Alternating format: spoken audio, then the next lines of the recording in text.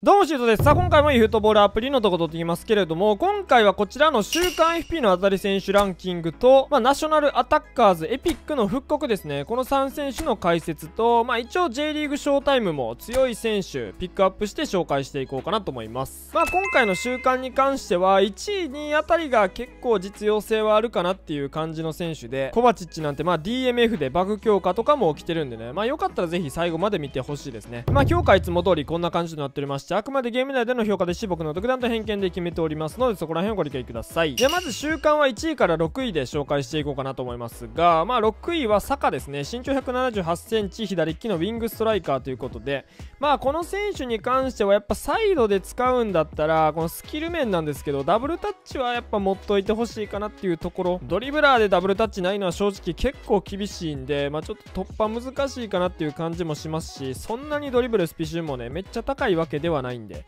まあワンチャン攻撃的サイドバック的な感じで5バックの左サイドバックとして使うのが守備数値もまあそこそこはあるし結構良さそうな感じはしますかね。あんまり前線とかでまあえぐってシュートとかもそんなに打てるタイプではないと思うんで純粋にサイド上がってクロス上げる。フライパス90あってピンポイントクロスとかスルーパスも持ってるんで、まあ、そういうパス役の使い方が一番強いかもしれないですね。では次5位は藤本寛也選手。身長1 7 6センチ左利きの1 7 6センチとということでまあ今テクニックプラス3のブースターはついちゃってますけれどもまあこれなくてもまあそこそこはいい能力値持ってるかなと思いますしまあまあ、それはガチスカ級っていうわけではないんですけれども、まあやっぱスキル面ですかね、ダブタワンシューコンカ、ワンパウト、スピンキック、足裏チェイシング、スルーパスなど、もうめちゃくちゃ優秀なスキルを持ってるんで、まあ、欲しいものはほぼほぼ持ってくれてるかなって感じしますし、まあちょっとミドルなくてキック力が74しかないのは、ちょっとだけ微妙ですけど、それ以外は強いと思うんで、まあまあ案外使えるのかなっていう感じはしますかね。で、次4位はディアキテですね、身長185センチ、右利きのハードプレスのセンターバックということで、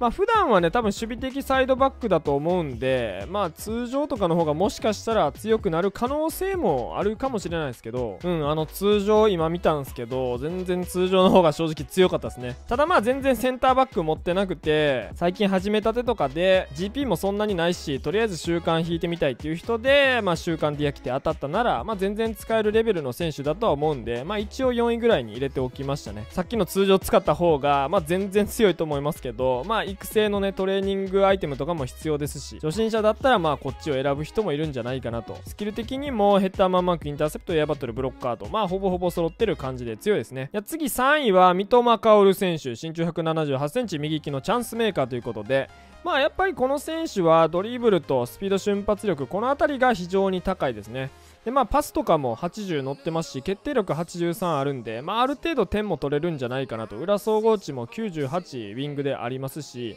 まあ、ちょっとサイドで使うにしてはコンカ持ってないのはねちょっともったいないかなっていう感じがしますが、まあ、特殊ダブルタッチだったりアウトスピンキックワンシューとかは持ってるんでもうほんとコンカぐらいですかね。守備の数値とかも案外悪くなくて、まあ、ちょっとキック力低いんでそこは微妙ですけど。まあまあ強いサイドのドリブラーかなと思います。で次2位はサラーですね。身長1 7 5センチ左利きの2列目からの飛び出しの選手ということで、まあ、今回サラーこれ初かな週間で右サイドハーフついて登場したのは。まあ、本適性が右サイドハーフで来てますしバグ強化起きて裏総合値は102までいってると。まあ、全体的に能力見るとね、まあ、なんかずば抜けて高い感じはしないんですけど、まあ、サイドの選手で決定力88って相当高いしパスも85あって超ドリブラーっていう感じの能力ではないけど、まあ、それなりにドリブラーできるしフィジコンボディコン高いんで体も強くてやっぱスキルですね。ダブルタッチワンシューコンカミドルワンパアウトスピンキックスルーパスなんかを持ってるんで今までのサラで一番優秀っぽいっすね。キック力とかもね普段と比べると多分ちょっとは高くなってると思いますしまあ右サイドハーフで初めて使えるサラスキルも超良くて個人的には結構悪くないとは思うんで右サイドの選手で左利き使うのが好きな人にとっては結構ハマる右サイドハーフになるんじゃないかなと思います。でラストはコバチッチですね。身長1 7 7センチ右利きのボックス2ボックスの選手ということで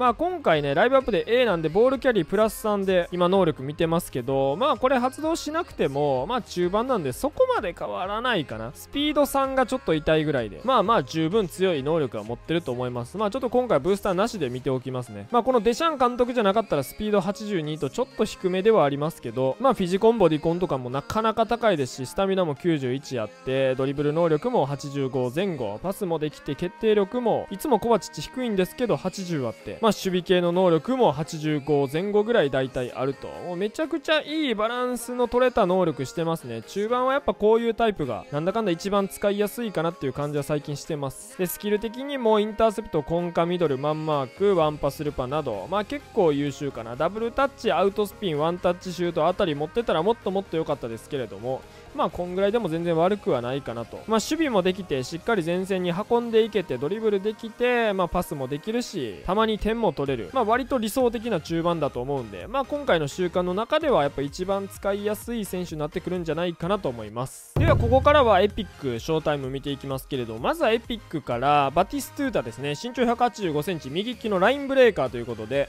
まあ能力値はねそんなに悪くはないですね。逆足頻度精度高い高いでまあ最低限両足蹴れる感じでドリブル12上げしたらまあ全部80以上には乗るしボルコン高いんでまあそこそこは使いやすさもあるかなとオフェンスセンス94で決定力90までいって、まあ、スピード瞬発力も、まあ、そこまで悪くはなくキック力95でフィジコンボディコンもまあまあ高いですし、まあ、スキルがちょっとねワンシュートヘッダーとミドルワンパぐらいしかいいの持ってないんでダブルタッチスルーパスコンカアウトスピンキック足裏コントロールなどなどつけたいのがちょっと多すぎるのが微妙なポイントではありますけど、まあ、改めて育成してみるとそんなに悪くはないですかね。まあでも基本的には強いラインブレーカー持ってたら取らなくていいと思います。では次はヤンコレル見ていきましょう。身長202センチ右利きのターゲットマンですかねプレースタイル。まあやっぱり202センチあって空中戦強いタイプなんで、まあ、しっかりとエアバトル8振ってジャンプもね90乗せたいんで GK124 振って90まで乗せて空中戦しっかり強くして身長も生かしつつ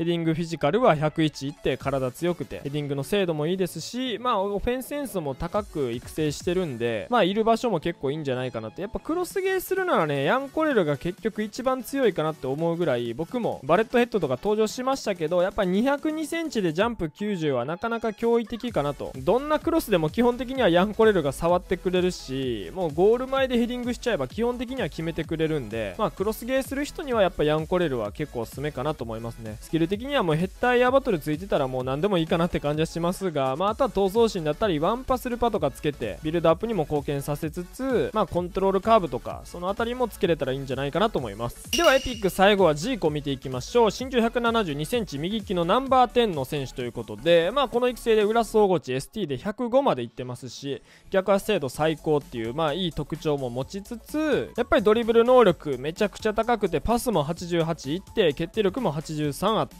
スピード瞬発するキック力全部90以上でフィジカルはまあそんな高くないですけど一応最低限の65ぐらいはいけてボディコン96まあめちゃくちゃ強いですね。まあ OMF とか ST ナンバー10の動きがマシになったとはいえまあ OMF だったらね守備してほしいんでナンバー10の下がってこないのは正直あんまり好きでもないしまあ ST とかだったら結構強いかもしれないですけど基本的にはポジ的使って左ハーフとか右ハーフこの辺りで使ってあげるのが一番強いんじゃないかなっていう気はしてます。確率もそんんなに悪くはないんでね。まあ左ハーフにおいてまあパスとかもね逆足でしっかりうまくやりつつまあ特殊ダブタでえぐっていってコンカとか狙っていくのも強いと思いますしまあ普通に右サイドハーフにおいて引き足サイドから突破させるのも強いと思うしまあどんな使い方しても基本的にはねもうサイドとかならジーコのドリブルとかパスめちゃくちゃ活かしていけると思うんでまあ必須級ではないですけれどもまあすごくおすすめの選手の一人かなと思います。ただまあガチャ的にちょっと渋いかなっていう気はするんで、まあ、ヤンコレル欲しいしクロスゲー結構好きですっていう人はジーコフライパスそこまで高くはないですけど、